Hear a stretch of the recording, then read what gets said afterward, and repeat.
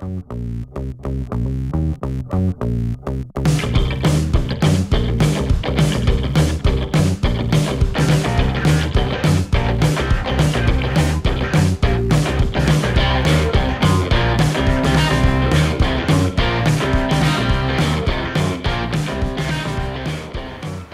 guys, welcome to our channel, Minimalist Digital Nomad. My name is Eric and uh, behind the camera is Marcella. And today we're going to tell you something about our home, about our van, uh, which we're living in. And we're going to tell you something about the systems, uh, how we've built them uh, to go off-grid and to suit all our needs. This is our van and uh, we've got some question of, questions about what kind of van it is. It's a Renault Master, length 2, height 2. Uh, it's not the biggest van there is, but it's also not really small, and it's big enough for us. We can stand up straight, which was important, uh, an important thing for us. And furthermore, it's short enough to be able to park in a parking spot, because we want to be able to park in uh, cities like Amsterdam, which can be uh, quite narrow. So that's why we chose this van. Uh, furthermore, it has 100 horsepower, and it used to be an old work van, and uh, yeah, we've made it into a camper van, which suits our, all our needs. Another important thing about the van, it has a load capacity of 4,500 kilos, which is important if you're going to build a van. I've done a, I've done a lot of research on a, on a lot of vans, and it uh, well it turned out to be the Renault Master we chose. Uh, we were also looking at a Fiat Ducato, which is also a great van. It's a little bit wider, and it's more commonly used for uh, for camper vans, but we couldn't find a suitable second-hand one. So we went with the Renault Master, which came at a very good price. So, what did we want to do with the van? That was quite important. Um, we wanted to go off-grid, uh, and also we wanted to be able to travel uh, on gravel roads. So we want to go, go uh, off track a little bit, but not four-wheel drive. We've lo looked into that, but then yeah, you need a Toyota Land Cruiser or, any, or something and then it doesn't come with the space you have in a van. So in the end we chose a van, two-wheel drive and we were like yeah, in Europe, which we're traveling with this van, is uh, good enough with a two-wheel drive van and uh, yeah, we came, uh, that's why we bought this one. So what kind of systems do we need? Well, uh, we wanted water, electricity, hot water if possible, heating, so we can take it to the south of uh, Europe, but also to the north of Europe, or a skiing area. Um, to have electricity everywhere you want, to go off-grid, you need uh, solar power. So that's what we started out with. So, electricity. Come with me.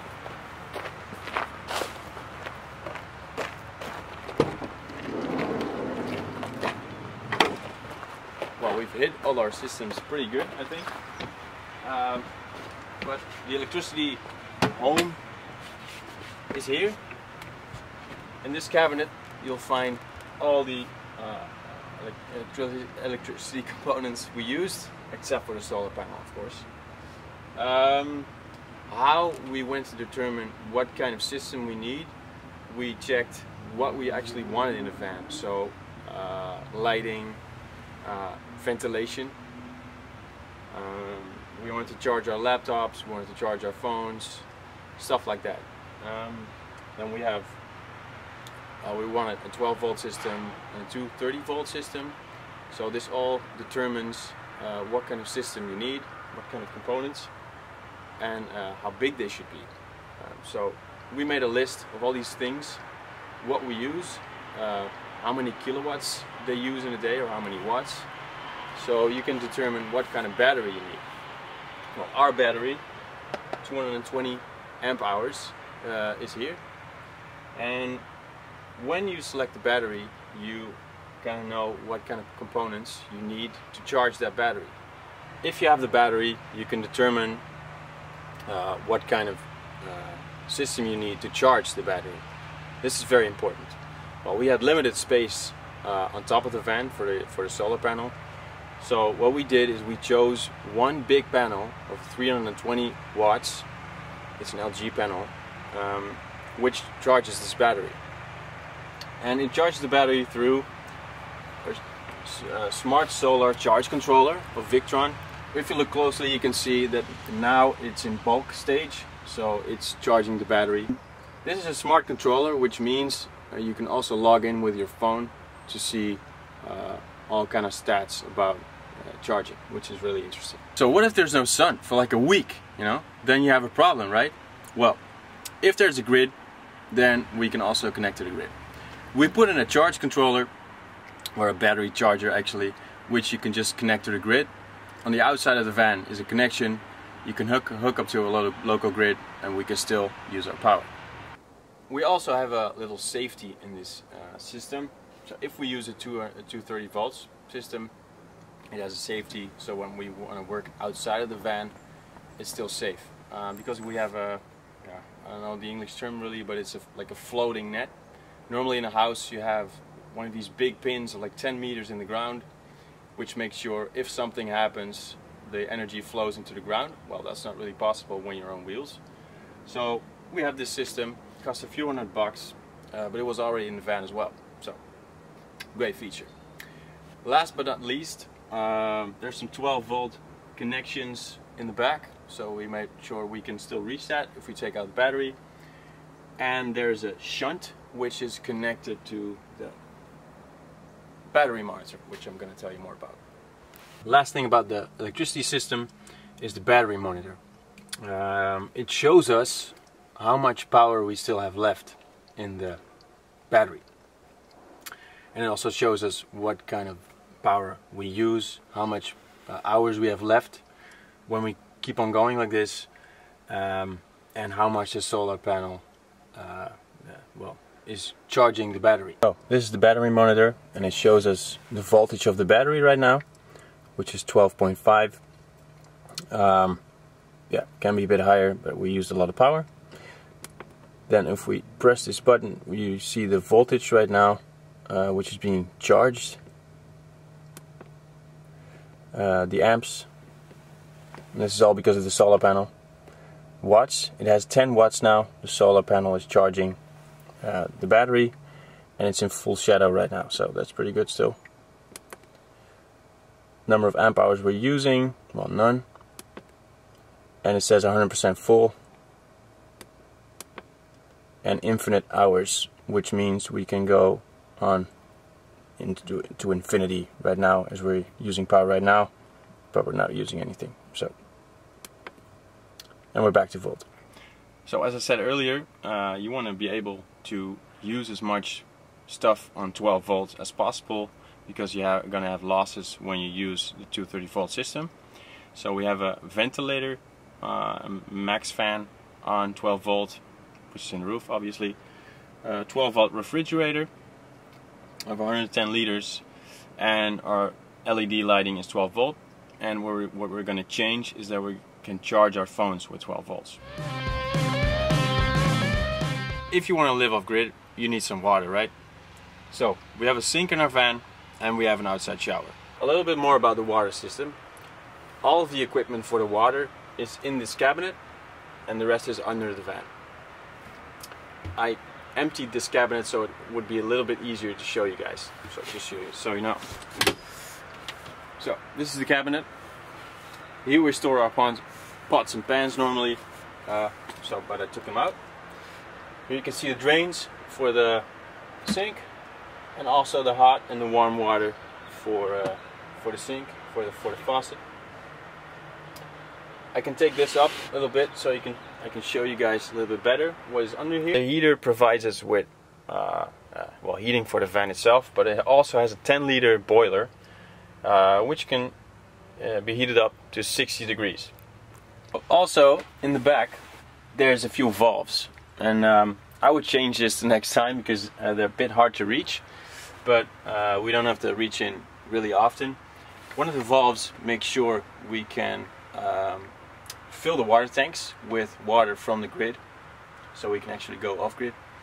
And the other one uh, is if we're connected to the grid it can uh, well uh, fill our system so we have water from the grid directly one other thing in this cabinet about water um, well there's two uh, pipes going to the sink and two pipes going to the outside shower in the back, which I'm going to show you now. The outside shower. We wanted to be able to take a shower, but we didn't have space in the van to build a whole shower cabinet, so we have it here. So I'm going to open it up, and here we can connect our shower. And take it out.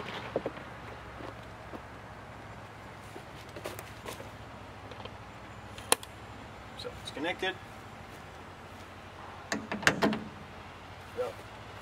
Well, normally I would put it on right now, but then I'll get wet, which I don't want right now. So I'll take it off again and show you how it works. To go off grid, we need water, obviously, and we put our water tanks under the van. So we had custom water tanks made, which fit exactly under the van, which I'm going to show you now.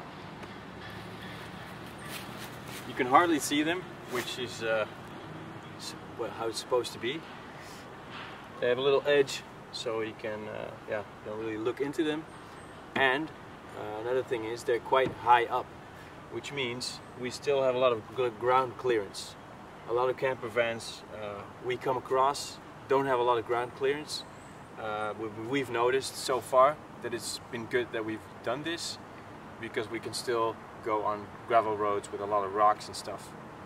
There's four water tanks and the reason we have four is because there's all kind of well kind of compartments under the van so we couldn't make one water tank and all these four water tanks for that reason are connected and the water tanks are then connected to the pump and the pump is a Shurflo pump which works the way uh, if the pressure drops it starts pumping. Let's go to the other side. Welcome to the other side, the dark side. Now on this side uh, we have the dirty water tanks. Yeah, there's only two tanks on this side and they're even higher up for some reason. Uh, but also they fit nicely into the compartments and all the water from the sink is transferred to these two tanks and we can uh, well, uh, empty them on specific places. So the heating system.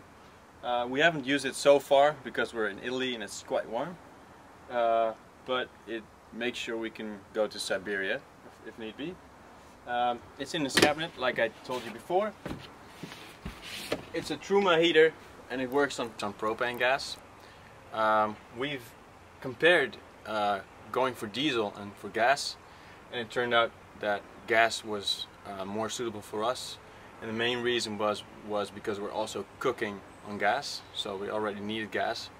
You can also cook on diesel but that's really expensive so we decided to go for gas and also for the heater which saved us uh, uh, like a hundred I mean a thousand euros so yeah that's why we chose this system. It's four kilowatts um, uh, running on gas and it can also run on electricity which is 1.8 kilowatts and you can even combine them. So in total you would have six kilowatts.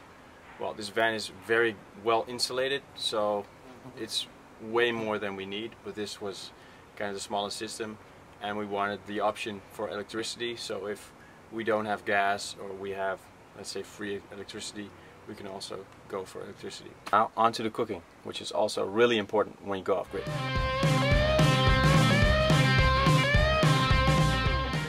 So this is the stove and it has three burners which is great and also it has a lid which you can also close again um, so if you don't use it you have space and what is what is great for the lid is that uh, stuff like flying up when you're cooking let's say tomato tomato sauce uh, it stays on the glass which you can easily clean. Um, it has three burners which is great but it's next to the bed. So what we normally do is we only use the, the right situated one uh, so, you, so we don't have to uh, store the bed away. If we really want to cook um, like a magnificent meal for eight people, then we'll use the three burners and we can store the bed away quite easily. So, but that's in our van tour video. So that's the cooking facility. Oh, Eric, where's the gas tank? it's outside and I'm going to show you. Ah. We've chose to put the gas tank outside because it would take up a lot of space inside of the van. And uh, we made the connection for the uh, for the propane under the van, which is not situated ideally right now, but it's something we're going to change. So it's going to be sticking out on the side and we can easily uh, plug it in. Right now I have to go lay on my back and put it in. Well, this was a video about our systems. Are there things we would change or will change? Definitely yes. Uh, what these are, uh, we want to charge our phones on 12 volts because it takes up a lot of power right now, like 40 watts for uh, the, the, inverter and 5 watts for a phone, so that's ridiculous. That's what we're going to change. And we're going to change uh, the gas uh, connection so it's easier to reach. Thanks for watching guys. If you like this video, please give us a thumbs up. And if you want to know more about the systems we used, subscribe to our newsletter and you'll receive a PDF with all the information you need. Don't forget to subscribe to our channel. Thanks for watching and see you next time. Ciao.